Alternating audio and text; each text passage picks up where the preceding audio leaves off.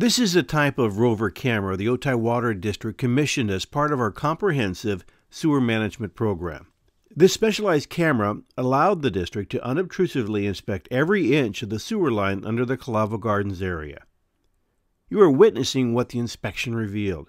This is a section of pipe that is flowing properly, using gravity or a positive slope to move the wastewater easily and without restrictions to its treatment plant destination. But look at what's happening now. See the difference?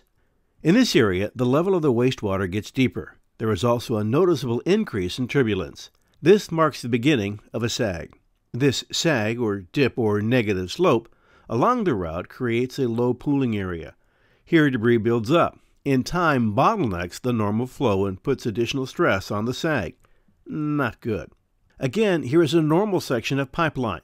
Watch as the camera rolls up on another sag.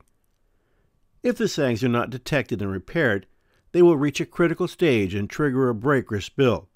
That means all of this is possibly forced out of its dungeon like passage and up onto streets and possibly into homes and businesses.